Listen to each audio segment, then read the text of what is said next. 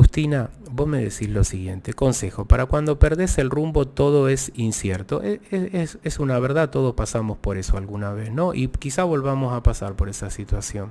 Teniendo en cuenta que siempre controlaste todo, bueno, es que el aprendizaje para el que quiere controlar todo o al que siempre controló todo y quiso manipular todo y quiso tener todo bajo presión, el aprendizaje correcto se hace desde todo lo contrario, desde experimentar el no puedo controlar nada, se me va todo de las manos, bloqueo del chakra de la garganta, cuando todo se me va de control, se, se, bloquea el chakra de la garganta, entonces siento que me desinflo, que me desempodero, que no puedo dominar, que no puedo controlar la situación, entonces hago un aprendizaje de humildad, empiezo a hacer otros aprendizajes que que tienen que ver con descubrir una manera distinta de hacer las cosas, de fluir, porque esta cuestión de controlar, manipular, em, querer dominar a la otra persona en, las relaciones de amor, es propio de personas inseguras, de, de, personas con mucho miedo, de personas que se han sentido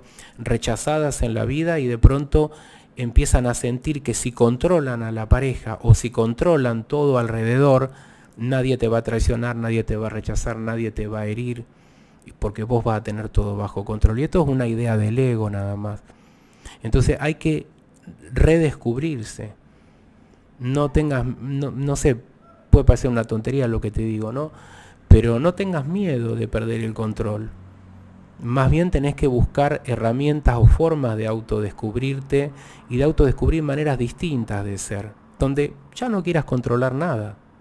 ¿No?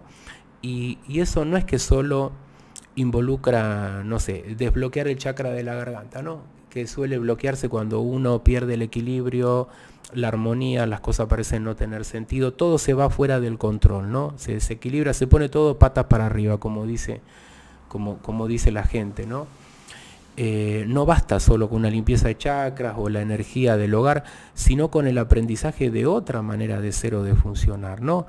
¿Por qué yo quiero controlar todo? Porque por ahí soy un niño asustado, herido, que ha sido rechazado y sigo funcionando en ese patrón de conducta y creo que el control es la forma de, que eso no me pase. Y no, y no, y si, y si estoy en este momento donde todo se fue de control, es porque es el momento adecuado para pensar todo esto y sanar.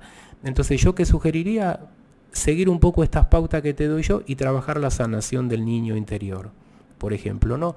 O si vos en este momento detectás traumas, detectás heridas emocionales, detectás de dónde viene tu miedo, puede que vos no lo registres el miedo, porque a veces la gente no registra el miedo.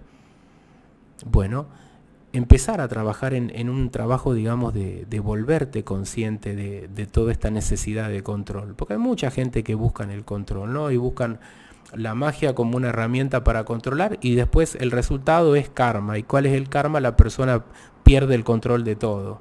El que quería controlar termina en la desesperación, como todo lo que hacen amarres, todo termina en la desesperación. Eh, o casi todos. ¿eh? Y los que no terminan en la, en la, desesperación y les volvió la pareja y son felices es por otro motivo, no por el amarre, pero no lo explico acá, porque se va a malentender y la gente va a creer que yo estoy diciendo que hay que hacer amarre. No sé si te puede servir esta respuesta.